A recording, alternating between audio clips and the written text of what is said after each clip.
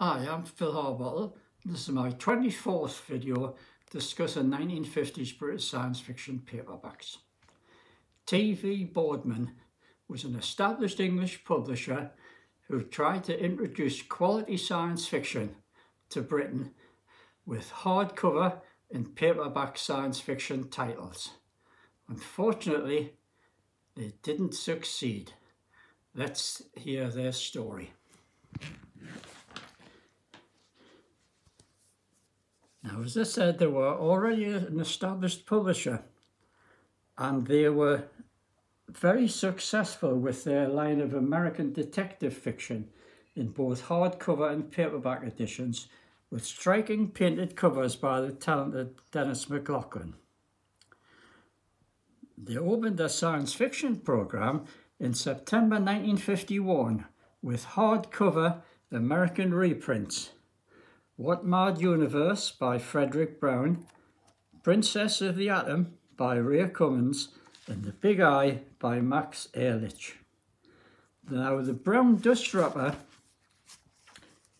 you see here, that set out their manifesto to establish science fiction in Britain.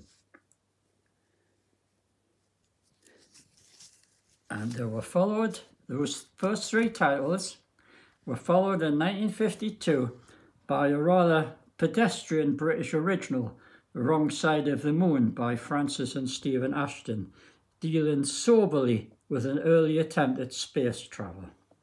The next title was much better. John Carnell's original anthology, No Place Like Earth, a strong selection of 10 stories of both American and British origin then headlined by two stories by John Wyndham, one as John Beynon, and fiction by Arthur C. Clarke, who also provided an introduction that ably promoted science fiction is a legitimate literary form. As you see from the, the contents there.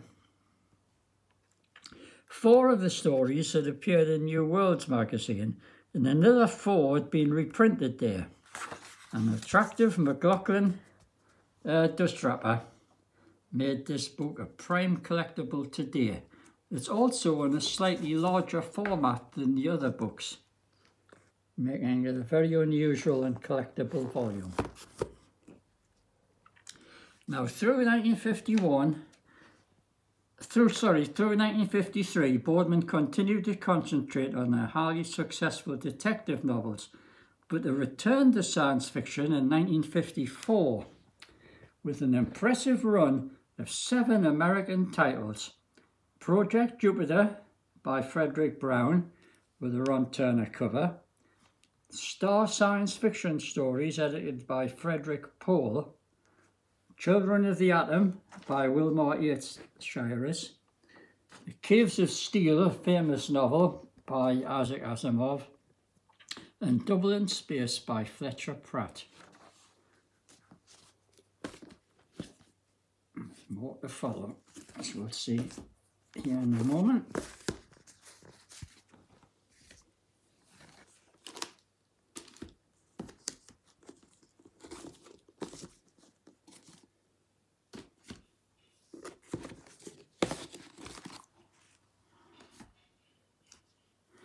See, the 1954 titles continued with Triplanetary by E.E. E. Smith and Conan the Conqueror by Robert E. Howard. And the hardcover science fiction continued into 1955, an eclectic mix of strong, mainly American titles that included This Island Earth by Raymond Jones, which was the basis of the famous uh, movie starring Jeff Morrow, the Current of Space by Isaac Asimov, and Alien Dust by E.C. Tubb, novelising a series of connected short stories from New Worlds plus one from Nebula, with a cover by Gerard Quinn. And there was First Lensman by A.E. Smith, with a fine Harold Johns cover.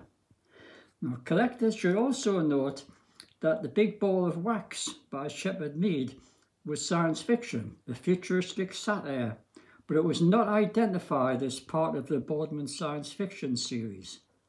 The last labelled title was The Sword of Rhiannon by Leigh Brackett, with another nice cover by Dan Dare artist Harold Johns. Now, although Brackett's novel carried the notation first published in Great Britain in 1955, Boardman actually didn't release the title until September 1956 because of marketing difficulties for science fiction. The sad fact was that by 1956, hardcover science fiction in the UK virtually ended. There were probably several reasons for this mysterious failure. Quite possibly part of the answer lay in the gradual slump in the use of circulating libraries which for many years had been the main purchasers of hardcover genre fiction. These were situated throughout the country, not only in the big chains like Boots' famous circulating library, but in many high street newsagents and small shops. But with the easing of paper rationing and the big increase in the amount of respectable paperback fiction becoming readily available from bookshops and other outlets, people ceased to use these library outlets. Another factor was the advent of commercial television in the UK, which brought popular culture to the masses, who no longer needed to read books to stimulate their need to be entertained. My own theory is that hardcover publishers may simply have found that the science fiction lines were not as profitable or as easy to procure as their other genre staples, detective fiction and westerns. Science fiction publishing involved more trouble and expense than those other genres. The need to employ outside editors and consultants to ensure quality, specialist cover artists, and higher rates to reflect the fact that two agent fees had to be met for American material.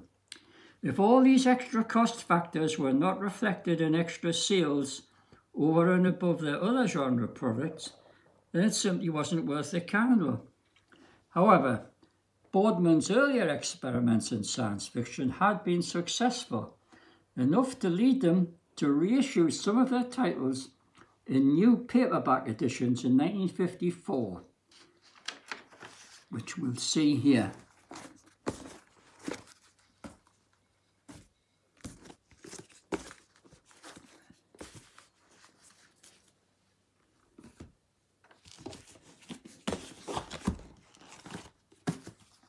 There we are, there's the paperbacks. Now this short run series is uh, highly collectible today. No Place Like Earth with a new McLoughlin cover. The Big Eye. What Mad Universe. Wrong Side of the Moon.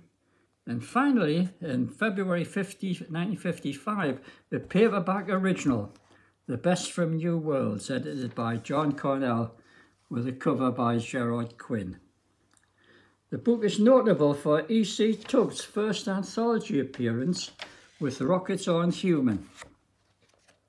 See from the contents page. Rockets Aren't Human. And was also notable for an intriguing introduction by John Wyndham, writing as John Beynon. A very unusual volume, but unfortunately, Boardman did not continue with paper science fiction thereafter. A major factor in the blight on science fiction at this time was the depredations of the mushroom publishers. Not so much because of the amount of rubbishy science fiction churned out by firms like Gannet, Curtis Warren and John Spencer, although that obviously didn't help, but because of their disgusting gangster fiction, which had resulted in court prosecutions, jail sentences and fines. By 1955, as author Ted Tubb pointed out in one of my earlier videos, booksellers and wholesale distribution outlets were refusing to handle any books from the mushroom publishers. And since a large part of their output had been science fiction, the genre was identified with them. So perfectly good science fiction, such as the paperbacks put out by Nova and Boardman, was discontinued. What an opportunity was lost.